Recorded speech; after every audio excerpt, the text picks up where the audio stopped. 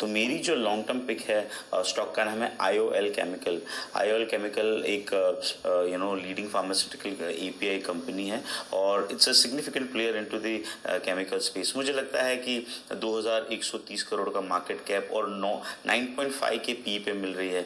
जो इंटरेस्टिंग चीज़ ये है कि company generating lot of free cash flow और सेल्स का growth last you know few quarters में डेफिनेटली थोड़ा कम हुआ है। लेकिन मुझे लगता है कि with decline in the recent you know price this is a very good bargain right now so stock अभी जिस हिसाब से ट्रेड कर रहा है, मुझे लगता है यहाँ पे खरीदना चाहिए, जिस हिसाब से स्टॉक के अंदर में एक बहुत ही मेजर डिक्लाइन आया। अगर आप देखेंगे तो लास्ट एक साल में सात से स्टॉक ऑलमोस्ट थ्री हो गया तो almost fifty percent kind of decline हुआ है। लेकिन अब इंटरेस्टिंग चीज़ ये है कि ये स्टॉक पिछले डेढ़ साल से परफॉर्म नहीं कर रहा है। साढ़े नौ के पी पे मिल रहा है। बहुत ही क्वालिटी कंपनी है मेरे हिसाब से। जिस हिसाब से आप अगर डेट टू इक्विटी देखोगे तो ज़ीरो है।